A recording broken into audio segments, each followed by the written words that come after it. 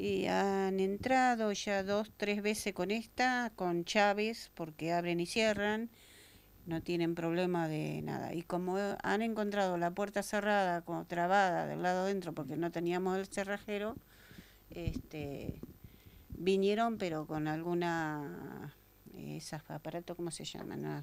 para romper Barreta. barreta y han roto toda la puerta. Eh, ¿Han sido reiterados los hechos en los últimos días? Fueron seguidos, empezaron el día 26, siguieron el 20, después del 25 y siguieron anoche. Ayer vine a la mañana y me encontré otra vez con la puerta sin llave, mm. abierta otra vez. Así que bueno, y vino el padre y justo anoche vino el padre a tarde y se encuentra con todas las luces prendidas y este y vimos otra vez que un desastre hicieron, mm. un desastre otra vez. Y nosotros vamos a tratar de haber, asegurar un poco más algo, ¿viste? Porque no, sé, no sabemos qué hacer. Porque ya saben que hay, ¿viste? Si volvieron tres veces seguidas, ¿viste? Sabe que hay algo y se lo llevan, ¿viste? Mm. Lamentablemente paga otra gente que en realidad necesita por por estos hechos. Debe dar mucha bronca cuando suceden estas cosas. Te da rabia, ¿viste? Te da ganas hasta, ¿viste? de abandonar todo, pero, ¿viste? Tenés que seguir, ¿viste? Cuando tenés algo que lo llevas dentro del alma, no no no lo abandonás, porque hay gente que vale la pena todavía seguir ayudando, ¿viste? Pero ¿qué va a hacer? Está dispuesto así.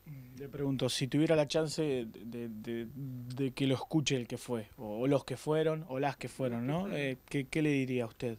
Y yo le diría que pidan un poco de disculpa a las personas que le han sacado el alimento en este momento y, y que se cuiden y que empiecen a vivir un poco mejor, porque acá en Guaite nos conocemos todos y sabemos, se sabe todo y qué sé yo, que sean un poco más prolijos y que sea más, más educación, más educación sobre los padres, porque estos fueron menores, no fueron padres.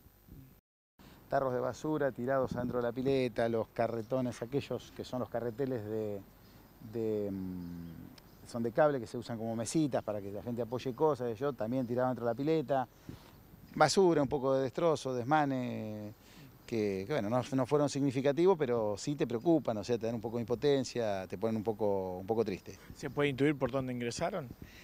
A ver, el club es eh, bastante grande, pueden haber escalado algún muro o, algún alambrado por el predio de menores infantiles. Eh, en sí lo que nosotros ahora procuramos hacer es el predio está cerrado para que no ingresen animales, nada. Eh, entonces queda todo cerrado con candados para que no... Está cerrado por todo lo que es por abajo, por el tema de animales, no podrían entrar hoy al club. Em, y así que tiene que haber escalado alguna parte del, club para acceder al predio. Hace poquito tiempo fue en el predio de menores, pero justamente queda este predio rompieron una reja eh, y nos robaron un montón de, cosas de la utilería que obviamente hasta el día de hoy no las pudimos reponer. Em, pero sí, son preocupantes que los clubes, que son lugares de contención, que, que, sean afectados así. De pasó lo mismo creo que Huitense hace un tiempo atrás, hay un eh, Dublín, hay muchas instituciones que sufren esto.